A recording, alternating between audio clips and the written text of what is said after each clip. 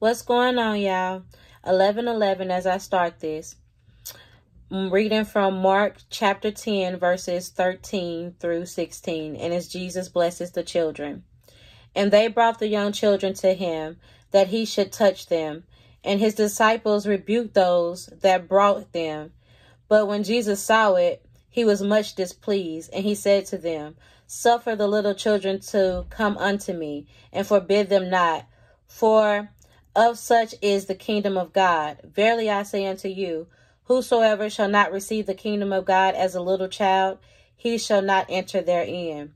And he took them up in his arms, and he put his hands on them, and he blessed them.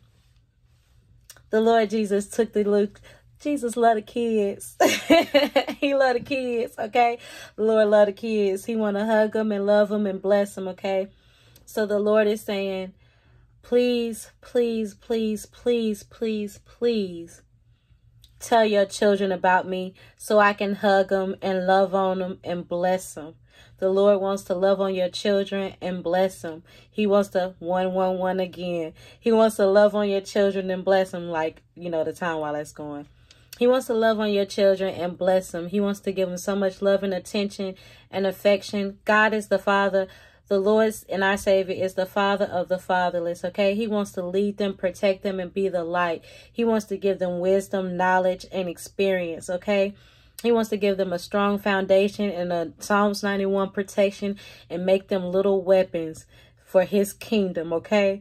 So go ahead and start talking to your children about the Lord and Savior because he ready to put his hands on them. He want to hug them and he can't do it without your permission. He can't do it without your permission. He needs your permission to be able to put his hands on your children. He needs your permission to be able to hug your children. He needs your permission to be able to protect your children. He needs your permission. Invite the Lord into your home. Invite the Lord into your kids' lives so they can start asking questions. And it's going to make you go seek some, some answers, okay? Because kids got questions for days. so the Lord wants you to bring, that was 222. All right, I'm finna stop. The Lord wants you to bring your kids to him. He wants to love on them and he wants to bless them, okay? He wants to bless them and protect them. Take to talk to your kids about the Lord. Today, tonight, tomorrow, if they still up tonight. okay? Just introduce them. That's it, and that's all. Peace.